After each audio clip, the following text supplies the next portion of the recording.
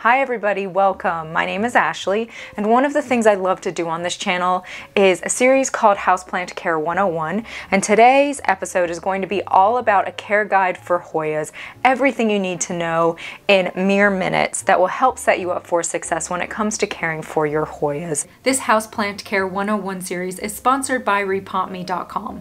With Repot Me, you can have all of your houseplant supplies delivered right to your door. They are a one-stop shop for all of your houseplant, orchid, or succulent needs. They have custom handmade houseplant soils ranging from orchid soil, philodendron, monstera, peace lilies, cacti, succulents, and more. They also have lots of different pots, including my favorite clear slotted orchid pots that I cannot live without, amazing houseplant fertilizers, and so much more. I have included their link in my description below for you, and you can also get 10% off any potting soil with my code Ashley. Now Hoyas have become enormously popular in the houseplant market um, justifiably so. They are absolutely beautiful and very, very easy care. They're some of the first plants that I got into personally when I first started collecting and becoming interested in tropical houseplants.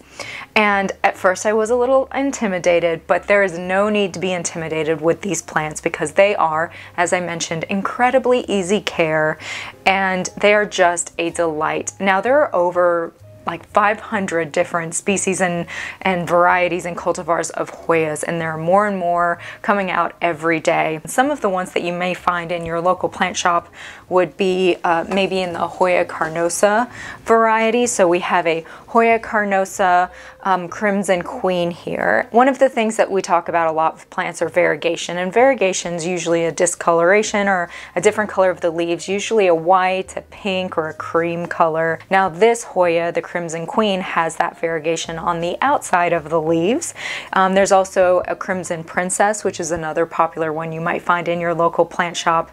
And the Crimson Princess actually has the variegation on the inside of the leaves. I actually don't have one of those in my collection. I can't believe it because it's so popular. Another Hoya carnosa that's very popular is called the um, Hoya carnosa compacta. And as you can see here, it's a, it looks like the Hoya carnosa, um, just the green variety, but it has these crinkled, kind of amazing, compacted leaves. Very, very um, interesting. It's known as a slow grower, but I will say, and I'll go more into lighting and that kind of thing, I have had great growth on my Hoya carnosa compactus. So I have included timestamps in my description below. Now, if you have a specific question that I don't cover during this episode, please leave them in the comments below and I'll do my best to get back to you as quickly as possible. You may have also heard of Hoya referred to as a wax plant or a wax flower or wax vine. This is due to the fact that many of these Hoya cultivars are known as having very thick, succulenty, waxy leaves. So first up, talking about lighting. Hoyas are native to tropical areas in Asia and some in Australia, and they're usually epiphytic. Now there are some that are shrubbing Hoyas, but as a general rule, most of them are climbing up trees, and as I said, epiphytic. So I recommend giving your Hoya bright indirect light because that's what they would enjoy in their natural habitat. Maybe an east or west facing window. Um, if you have them in a south facing window, maybe a couple of feet back, or if they're closer to the window, maybe a sheer curtain, because a lot of times they can get a little bit burnt on the leaves. But Another thing that people really enjoy doing is sun stressing their Hoyas. So sun stressing means that the Hoya gets enough light that the leaves kind of turn a pinky color. I have here a sunrise Hoya and I recently started giving this Hoya a little bit more light because it's known for having really sunrisey, beautiful colored leaves and it wasn't putting out leaves that were that beautiful color until recently I can see where the sun's been hitting. It's been getting the really pinky leaves. But I do recommend giving a little bit more light rather than less light now, a lot of Hoyas can survive in lower light, but they're not going to thrive. They're not going to put out much new growth, and they are going to have a really hard time blooming. Now, as I'm coming into winter time, none of my Hoyas are blooming. They've all kind of just stopped. I can tell they're kind of gearing down since we're coming towards the end of the growing season, but I had a ton of blooms this year for the first time, and I learned a lot about getting my Hoyas to bloom, which I'll be talking about in a little bit as well. So if you do end up putting your Hoya in a lower light area, just know that you're not going to get a lot of that growth or those blooms, but you could provide them some supplemental lighting in the form of grow lights. There are so, so many fabulous grow lights online. You can't go wrong with any grow light. Uh, your plants will really uh, appreciate any additional light and supplemental light that you can give them in those lower light areas. Depending what zone you live in, a lot of people will put their Hoyas outside during the summer, which they absolutely love. They love that warm weather, they love the higher humidity, they really enjoy getting that good light. I would recommend keeping them out of really direct sunlight. Again, don't expect Hoyas to bloom if they're not given enough light, but if you are giving your Hoya enough light, that's one of the steps that you can take towards helping contribute your Hoyas having the ideal conditions towards those blooms that a lot of us Hoya lovers really enjoy. As far as temperatures and their natural habitats, they are used to warmer climates, so usually 65 degrees, 70 degrees and above. If you're looking for maximum growth, you know, they will tend to slow down in the winter times and pick back up in the summertime. That's totally fine. As a general rule with houseplants, I say if you're comfortable in your home, your plants are comfortable in your home. Having that bright indirect light and those warmer temperatures are also going to prevent your soil from staying too damp um, because that's one of the things we definitely don't want with Hoyas. We don't want their roots to be sitting in damp soil for an extended period of time. And allowing, you know, the warmth and the light to help evaporate the water from the soil um, will be really, really beneficial for your Hoyas. Now, Hoyas absolutely love humidity. They're not dry climate plants. They're warm, humid, tropical plants. So the higher the humidity, the better for these guys. If you're looking for fast growth, humidity is a really, really great way to get there quickly. Sometimes we can have the perfect light, the perfect watering, soil, and we're wondering why isn't our Hoya showing signs of new growth? It's probably because it doesn't have enough humidity. So if you're in the growing months and you're not getting humidity, or if it's in the winter months, a humidifier can really, really help.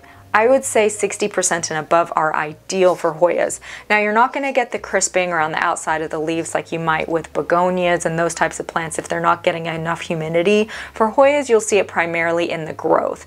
Now one of the downsides of having a lot of humidity is that there can be fungus that grows on your leaves if you don't have enough airflow. I always have a fan running. As you can see, this beautiful Anthurium magnificum leaf is kind of swaying in the breeze with the fan. The fan really just helps the airflow and it will do a good job of preventing that fungus. One of the things you can do if you are noticing fungus on your leaves, you can spray a bit of neem on there. Next up is watering, and it's always really important to know how to correctly water our plants because that's usually the quickest way to kill them is by watering incorrectly. Now with so many of these Hoyas being epiphytic and growing up the sides of trees in their natural habitat, they're used to their roots having a lot of airflow. So we definitely want to make sure that our Hoyas are not left sitting in too much water. A lot of that comes down to using the correct type of soil, which I will be going over in a minute. But when it comes to watering, there's a lot of ways to actually tell if your Hoya is thirsty or not. So the first thing you can do is check to make sure if the soil is dry. Now some Hoyas do prefer to be watered more regularly and some Hoyas prefer to be dried out for a longer period of time. The first thing you can do to tell is look at the type of leaves that your Hoya has. So if your Hoya has, this is a great general rule of thumb that I use for actually a lot of my tropical plants besides just Hoyas. So if your Hoya has really thick leaves, big, large, succulenty leaves, you probably don't need to water that Hoya as much because it is storing a lot of that water in those leaves. If you have a Hoya that has smaller leaves, maybe a little bit thinner, it doesn't have the opportunity to store as much water and you are going to water that plant more regularly. On some of our larger plants, it can be difficult to tell uh, if there's moisture still halfway down in the soil. So moisture meter really, really, really helps. Another way you can tell if your Hoya is thirsty or not is seeing if the leaves are puckered and dried out. That's a great indicator that your plant is thirsty. It's used up its reservoir of water in the leaves and it's ready for a drink. Now when it comes to plants, I don't recommend just putting in a little bit of water regularly. I say let that plant get thirsty. When the plant is thirsty, give it a nice good drink so that it can replenish those leaves, fill the reservoir back up and then wait till it dries out again and is looking thirsty. Another method that you can use is called the taco test. And this method is where you take the Hoya and you try to bend the leaves into a taco. Now, this leaf, if I were to bend it into a taco, it would break. And that's because I recently watered all my Hoyas, so they're really um, hydrated right now. But if this leaf was dehydrated, I would have no problems bending that into a taco and it would let me know that the plant is thirsty. One of the things I learned a lot about this year is Hoya blooms. And I can't talk about watering and not discuss Hoya blooms because they really do go hand in hand. One of the surefire ways to get your Hoya to bloom is to stress it out. And when your Hoya thinks it's going to die, it goes into survival mode. And I know it sounds awful, but it goes into survival mo mode. And when it goes into survival mode, it usually wants to put out a flower because it wants to reproduce. So one of the ways we get our plant to go into survival mode is by withholding water. One of the things you can do is wait until the soil completely dries out and then wait a few extra days and then give the plant water. Doing that for a period of time will stress your plant out to the point that it will help expedite blooming. When you see a peduncle, don't withhold water anymore. Water it on a regular schedule um, when the plant would regularly need water uh, because that will help the plant to bloom. If it gets a peduncle and it continues to not get enough water like it has been, it, couldn't it can just drop that peduncle. Next up is soil and repotting. I am actually going to repot a few of these Hoyas. Oh, gosh. You know a plant's ready to be repotted when it falls over and no soil comes out because it's all just compacted roots. Let's talk about one of the ways to know if your Hoya needs to be repotted. The roots are coming out the bottom. The roots are coming out the top. I just dropped this plant and no soil came out because it's all compacted roots. Now, typically I would recommend waiting until the growing season or during the summer months or in spring right before the growing season to repot your plants. But the conditions that I keep in this plant room are such that I have a lot of new growth even in the winter months. So I feel comfortable repotting some of these Hoyas. Hoyas really hate sitting in any kind of damp soil. So when you pick a pot, just make sure it has a lot of drainage holes. You just want to make sure that any excess water has every opportunity to flow out of that pot. It's well known I love to use cover pots on this channel. These are some of these fun, crazy ones that I have found thrifting. I love to thrift for fun, unique planters. Here's a little like smiley face one. And I like to exchange out different planters based off of what I find when I'm out shopping, but I don't want to repot my plants every time I use a new planter. So I use these really wonderful clear slotted orchid pots from repotme.com, our partner for this episode. Like you can see in this one, I repotted it and I can see on this Hoya curtisii, I can see how the roots are doing. I can see that there is in fact quite a bit of moisture in the soil. Um, it has a ton of drainage. These were made originally for orchids. Repot Me has a ton of amazing products for orchids as well as tropical plants. And so these have a ton of airflow with orchids being epiphytic and growing on the sides of trees. They need a lot of airflow, as do Hoyas and so many other tropical plants. Or you could just use a regular nursery pot. If you wanted to use cover pots, you can use a little nursery pot as well. I can be really messy when it comes to repotting. So I have this really handy mat that I found on Amazon. And I've linked everything in my description below for anybody uh, if you have any questions about different products that I use. When choosing a pot size, you really only want to go one to two inches bigger than the planter that the plant is already in. Wow. Oh my gosh. Look at that. That is amazing. On this particular one, I don't think I can break it up too much because this is really just all roots and the plant is looking really healthy and I don't want to mess it up. It's putting out new growth. So I'm going to go one to two sizes bigger than it has been. So this is a good size. You see the difference there. Well, Hoya being epiphytic, they really love well draining uh, soil that has a lot of either perlite or bark in mixed into the soil. You definitely don't want to use a regular potting mix that can retain a lot of water.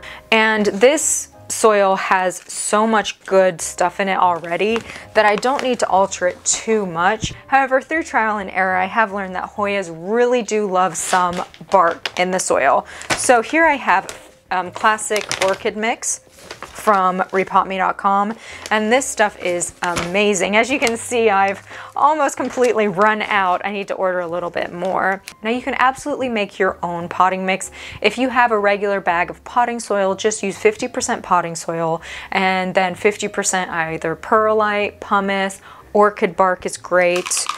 You just want to make sure that the soil is very well draining because their houseplant potting mix already has so much amazing stuff in there. I don't need to add much. I did throw in a little bit of orchid bark. I always look back when I'm editing and I'm so aggressive. Next up is this beautiful Callistophylla. Again, we see the roots coming out the bottom, but this soil isn't as compact. I don't recommend ripping out roots or breaking up the root ball too much, but loosening it up a little bit is also a nice idea. If your plant is looking really healthy, if it's putting out new growth, you know, don't mess with the roots too much. Yeah, so that's the perfect size. A little bit of that. I'm all about eyeballing it. It doesn't have to be exact measurements. So again, Hoya like to be root bound. They don't like a lot of extra room. Um, so, I mean, they typically only need to be repotted like once every couple of years. So make sure whatever you put your Hoya in, that it's the right size, it's the right kind of pot. Hoya are an absolutely terrific plant to propagate, whether you want to propagate them to give them as gifts for friends or make your Hoya basket um, or pot look more full. Very, very simple, similar to many other tropical plants. You just trim it off at the node and then you stick that node in either some water um, have had a lot of success with that. You can put it in some soil. Uh, if you do that, just make sure the soil doesn't dry out. You definitely want to keep any propagation that you have in soil, keep that soil moist at all times and make sure it gets some good light. Uh, you could also propagate it in sphagnum moss. They do really well in sphagnum moss, uh, perlite. The last subject to mention is fertilizing. These houseplants don't have the opportunity to spread their roots out looking for nutrients in the soil like outdoor plants. They really are limited to whatever we give them um, and especially being blooming plants, it's really important that we give them enough fertilizer. So you can go a few different routes. First of all, you can never go wrong with any kind of fertilizer labeled for houseplants. So whether you decide to use a synthetic fertilizer or an organic fertilizer, just make sure whenever you start fertilizing, usually at the beginning of the growing season, that you fertilize at about half strength to start with. Then just to give your plants a chance to catch up, get back in the mood of growing. And then during the growing months, if your plants react well to that fertilizer, then, you know, go to full strength during the growing months and then taper back off in the fall and then don't fertilize at all during the winter months. Now, if you are seeing new growth on your plants during the winter months, you can continue to fertilize your plant. Just definitely go weak on the fertilizer, maybe half strength, because over fertilizing your plant can cause a lot of problems. It can burn the leaves, burn the roots, damage, or potentially even kill your plant. So always err on the side of caution. Also with Hoyas, interestingly, I know a lot of people use orchid fertilizer, whether they spray them on the leaves or on the roots. If you have experience using orchid fertilizer with um, Hoyas, leave it in the comments below. I'm personally really curious to learn more about that. I haven't tried that, um, so I'm not going to go too in depth about it, but I did want to mention it um, because I know that is popular amongst the, the Hoya community to use that. I think that's it on Hoyas. I hope this episode was helpful for you guys. Now, if you want to be part of our community and you'd like to see future plant videos show up in your newsfeed, make sure to subscribe. And we also have an amazing plant community on Instagram that we'd love for you to be part of. And lastly, huge, huge thank you to repotme.com. They're such a wonderful resource for the plant community. I 10 out of 10 recommend their products. I've included a link in my description to their website and they are offering 10% off their houseplant soils and all of their different soils that they offer. For Plant Life with Ashley Anita viewers, just use code Ashley. I hope you have a wonderful rest of the day. You'll definitely be seeing me soon. Bye!